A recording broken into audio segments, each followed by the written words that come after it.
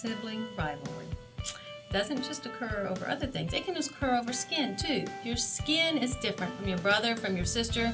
We get genes from both our parents. Sometimes we get the acne gene, and the acne gene can be frustrating.